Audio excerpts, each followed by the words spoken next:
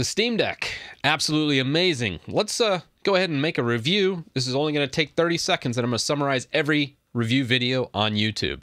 Uh, 70% of your library is going to work. Green check mark means it'll play great. Uh, exclamation means it probably will play with some caveats. And then unsupported most times won't work, but sometimes will, especially smaller titles that aren't tested. That's the games. Now, let's go into the actual hardware. Hardware is amazing. RDNA 2, Valve is selling this at a loss. So you absolutely get your money's worth out of this device. And you can pretty much use it as a desktop. This whole review just takes a sharp turn. This is my setup. I have a full dock, HDMI plugged in. I'm even using a USB sound card with an optical out. And I actually have Logitech set up over here with some wireless keyboards. I went ahead and did Synergy so I could stream it in. And uh, I got a whole docking scenario so I can use this because it's as powerful, if not more powerful, than most laptops on the market today which kind of is mind blowing. So let's get into this review. I would say Steam, every failed project they've had from Steam Machine, Steam OS, Steam Controller, all of it felt like a staging ground for this amazing device that is an absolute must buy in my opinion. So this is the Steam Deck desktop. You'll see I kind of have everything laid out here so you can see exactly what's going on. We have the Steam Deck touchpad, buttons, grip controls are underneath, which we'll actually get into some gameplay once we get out of the desktop mode. But I want to showcase the docking. We have HDMI in, power in, gigabit through uh, the actual Ethernet.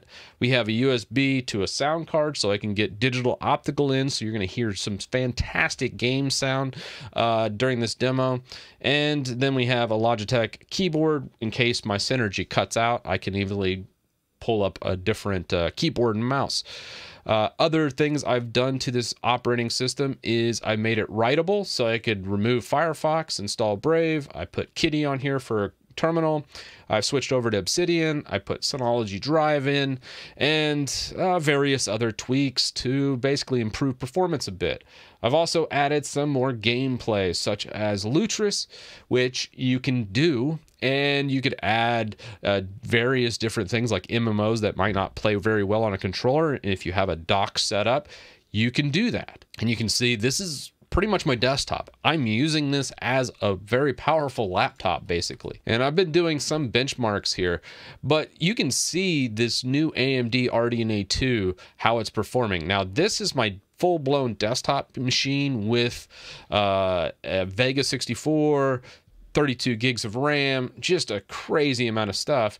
And you can see the performance difference between these. It's about half, but it's kind of amazing that this right here is what I'm getting out of the, the Valve Jupiter. That is the Steam Deck. I'm getting amazing performance from it. This is a $500 unit. Look at that. 500 bucks. That's what you get. Valve is definitely losing their shirt by selling this system. And I guess they're just banking on you buying a bunch of Steam games. So that's the benchmarks I'm doing on it.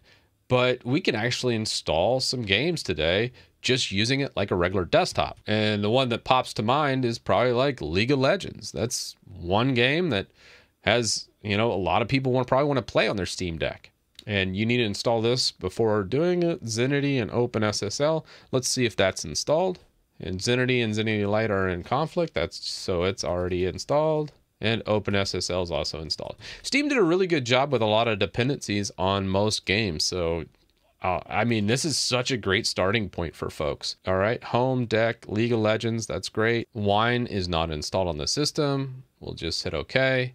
It'll grab the GE version of this anyways, which is fine. But if we did want to just install Wine, we could just do yay s wine staging is usually the one I go with. You can do regular wine if you like. So this will install. You can see this is not a slow system by any means either. Like I am shocked by the performance of this thing. As I'm zipping around in here, I was like, dude, I cannot believe this is a $500 system. And just like that, it's installed. So we have that. Uh, it's going to download these League clients. Let's see what we get. We'll install Mono. And 11 gigs. We'll install, see how long this takes.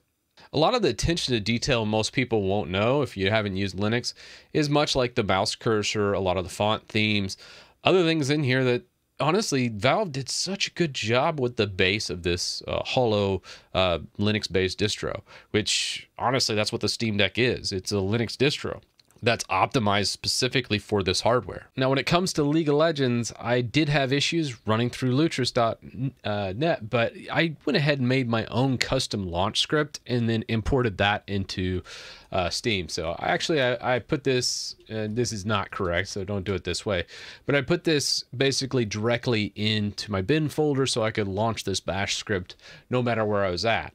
And then I went into here and then added a non-Steam game League of Legends. And then that way I can just launch it directly from uh, this. I can also add controller profiles, so I could play this on the go, so to speak, uh, using only the Steam Deck. So I have the Steam Deck here running it. Obviously, it still need a lot of tweaking, but totally doable. Here's our startup. Come over here. We're going to grab League of Legends, click play and this will launch in using nothing but the Steam Deck here. Uh, again, this is not a Steam Deck game, and the control scheme's wacky to say the best when it comes to putting it here. But you could map everything that you need from League of Legends to our controls here and the back grips on the controls. So as we load in, we'll go into a training exercise just so you can see the load times, how it uh, how it fares. So we'll hit play um, we'll just do training, practice tool, and then confirm. And if the Steam Deck has millions of users, well, yeah, it's in Riot's best interest to make sure that we actually uh, get proper functionality. They could easily put all this in and make it accessible through Linux, and, and as it's in Linux, uh, that would be on the Steam Deck.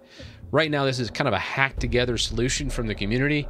Uh, it's just something that is easily done through Steam and it just needs a little more publisher support. But the load times are actually really good. Uh, I didn't really see anything is issues here. Uh, let's see.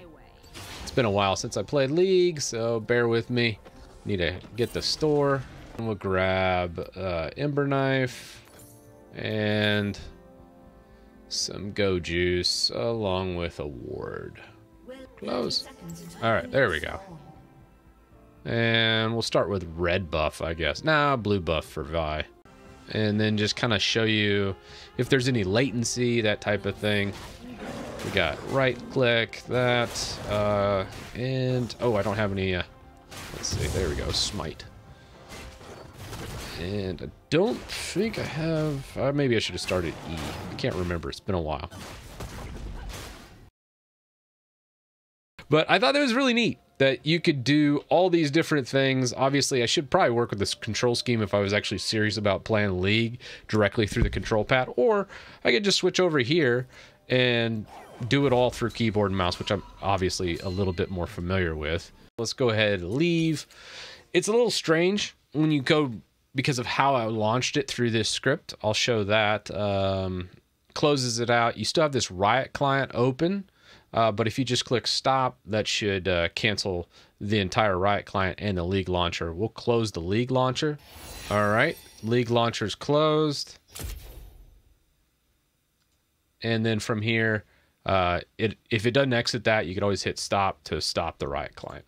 And that is League of Legends basically through a Steam Deck. So one thing I also wanted to showcase was the custom controls. Now, Warframe as a game is limited compatibility with the Steam Deck, but still works pretty well. And its control scheme is really where this shines. Like the back grip buttons, I went ahead and set to this right here. Also, I'm doing a top-down shot so you can see exactly what you get on the hardware itself instead of doing the screen capture. I like to show both. So let's go ahead and launch Warframe and you can kind of get a gist of the controls and also gyro. You can actually steer by looking. And the idea with this control scheme is my thumbs will never leave the thumbsticks uh, after I launch the game. So right here, Warframe has a little bug on Linux. Whenever you launch it, it'll be downloading content, but you'll never show the progress bar, and then it'll just say play. So then you just tap play and go. Probably just do or Valis. Find like one, two, three, four for the special abilities over here.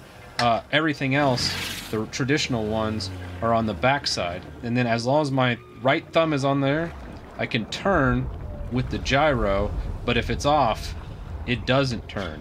So really, really intuitive, uh, very impressive control scheme here. I cannot believe how well this is done, and I can just do bullet jumps so easily. And I actually like playing this game better on my Steam Deck than I do on the actual PC because I really, really dig its control style and how versatile it is. So this is just the fourth day I've had this. That's it. Four days. I've already discovered all this. So don't think there's not going to be more to be found in the Steam Deck. I just wanted to show all these different facets of things that I really wish other people have shown. And I watched no less than 10 different, you know, Steam Deck review videos, all which I thought were kind of lacking and made by uh, uh, not really exploring what it has to offer. So let me know what you want to see down below because I've piped an external card to it, uh, just the whole nine yards here. But there's still so much more to do, and I've or started ordering a bunch more parts just to tinker with all the possibilities that this offers because this is a desktop PC in the palm of your hand. And if you're at least a little bit interested in this, go buy it. Uh, it has my 110% endorsement. I thought it was just going to be a pile of crap, but Valve, I think, honestly, when it came to Steam machines, Steam controller, Steam Link, all these different things that they failed at over the past 10 years, it's like they were setting it all up for this one thing. And that's why they did those things, just so they could get this right. And uh, wow, absolutely amazed by it. So, again, let me know your thoughts, and I'll see you in the next one.